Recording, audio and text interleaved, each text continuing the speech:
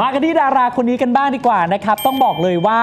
เรียนจบแล้วหลังจากตรากตรำมานานถึง 7 ปี ก็คว้าปริญญาให้กับคุณพ่อคุณแม่เรียบร้อยแล้วนะครับสำหรับน้องใหม่ดาวิกานั่นเองครับใช่แล้วค่ะ ไม่รู้นะคะว่างานนี้เนี่ยจะมีใครแซวว่าเป็นคุณยายหรือเปล่านะคะ แล้วก็จบแล้วตั้งใจจะเรียนต่อปริญญาโทเลยไหม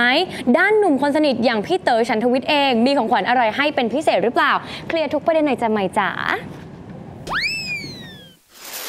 รู้สึกดีใจค่ะที่ที่เรียนจบแล้วค่ะ 7 ปีเบาๆค่ะใช่ก็เป็นเรียนกับเป็นรุ่นน้องก็เป็นประสบการณ์ที่ดีมากๆค่ะ เพราะว่าตัวใหม่เองอะมีทั้งเรื่องของใหม่ต้องทำงานด้วยค่ะ แล้วก็เรียนด้วยมันมันเลย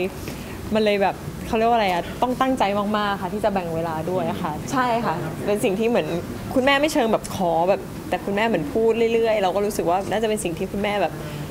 น่าจะคาดหวังที่สุดสำหรับสำหรับลูกคนหนึ่งที่จะทำให้ได้อะไรเงี้ยค่ะ คุณแม่ว่าไงบ้างคะได้ปริญญาดีใจค่ะ คุณแม่ดีใจขึ้นมาก่อนอะไรเงี้ยค่ะ ก็มีแสดงความยินดีค่ะ ใช่อย่างทุกๆ คนละค่ะทั้งทั้งพี่เองทั้งเพื่อนใหม่เอง ทุกๆ คนเลยก็แสดงความยินดีมา ตั้งแต่วัน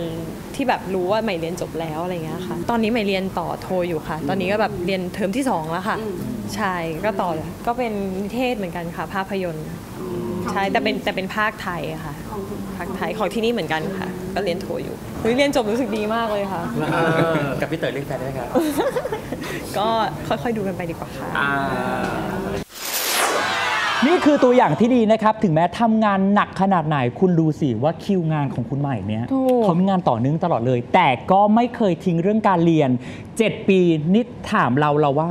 ธรรมดา จริง ๆ จะมาบอกว่าไม่มีเวลาในการไปเรียนอันนี้ไม่ได้นะใช่ถ้าเกิดสมมติว่าคุณยุ่งกว่าใหม่เนี่ยอันครันี้บไม่ใช่แล้วถูกต้องนะคะ แต่ว่าทางฝากของพี่เต๋อครับบอกเลยว่าน่ารักมากน่ารัก เพราะพี่เต๋อนะคะมีการโพสต์รูปค่ะ พร้อมกับแคปชั่นนะคะบอกว่า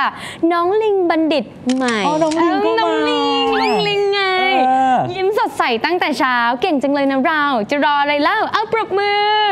อีกนิดนึงความสามารถคือไปแต่งกลอนได้เลยจนะริงๆแล้วก็แฮชแท็กนะคะว่าลิงดาวิกไม่ใช่ลิงธรรมดา เพราะเขามีปริญญาเป็นของตัวเองอ่าก็ขอแสดงความดีใจด้วยเหมือนจะดูทั้ง Lucky in Game และ Lucky in Love ไหมล่ะ จริง น่ารักมากเลยใช่อะไหมถูก นะครับแล้วตอนนี้ก็ปังแล้วก็ปัวทุกด้านเลยใช่นะคะจ้า